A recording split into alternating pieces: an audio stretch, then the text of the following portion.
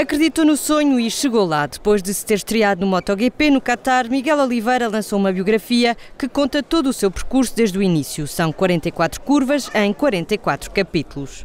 Tem sido realmente um desafio eh, fazer este livro, porque quando a Leia se eh, fez a primeira abordagem para escrevermos um livro sobre mim, eu ainda não estava no MotoGP mas acreditava que ia lá chegar. E portanto, nós começámos a escrever este livro sem ter chegado. E portanto, só isso é o exemplo de que se nós acreditarmos, as coisas acontecem. Ele trabalhou muito, muito para conquistar este lugar e que não tem nada a ver, além da persistência do pai, do seu talento e do apoio da família, poucas coisas mais terão tido uma importância tão grande neste lugar em que o Miguel ocupa neste momento.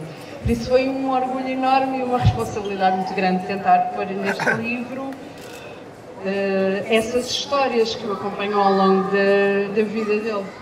Desde a gestão do medo à preparação física, passando pelo ídolo Valentino Rossi, nada ficou por contar. Seja a queda ou o momento, nós abordamos as coisas de forma natural, porque o risco está lá, mas não, não pensamos nele. E, portanto, não se lida com o medo porque não se tem medo. Sem medo, o objetivo agora é chegar ao fim de cada corrida, uma realidade no Qatar e que vai agora tentar manter na Argentina.